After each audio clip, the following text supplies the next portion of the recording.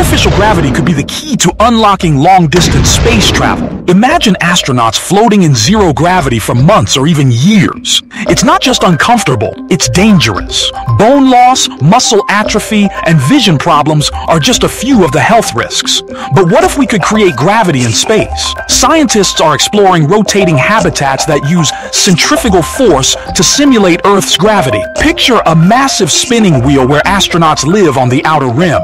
As it rotates, they experience a force that feels just like gravity. This could be a game changer for missions to Mars and beyond. It would allow astronauts to maintain their health and perform better during extended space journeys. While the technology is still in development, it could revolutionize space exploration, making those sci-fi dreams of interplanetary travel a reality. Thanks for watching. Subscribe and stay tuned for more exciting content on the evolution of technology and innovation.